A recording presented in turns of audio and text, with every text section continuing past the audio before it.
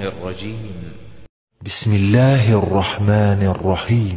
آمن الرسول بما أنزل إليه من ربه والمؤمنون. كل آمن بالله وملائكته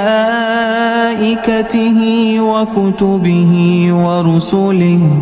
لا نفرق بين أحد من رسله.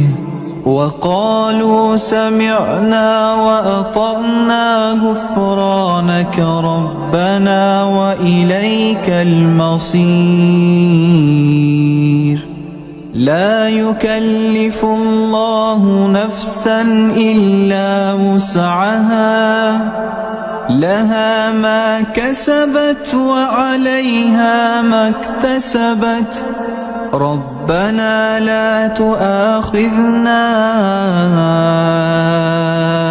إن نسينا أو أخطأنا. ربنا لا تؤاخذنا إن نسينا أو أخطأنا. ربنا ولا تحمل علينا إصرا كما حملته على الذين من قبلنا.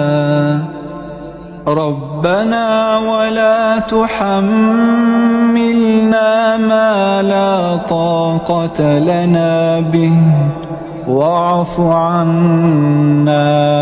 واغفر لنا وارحمنا أنت مولانا فانصرنا على القوم الكافرين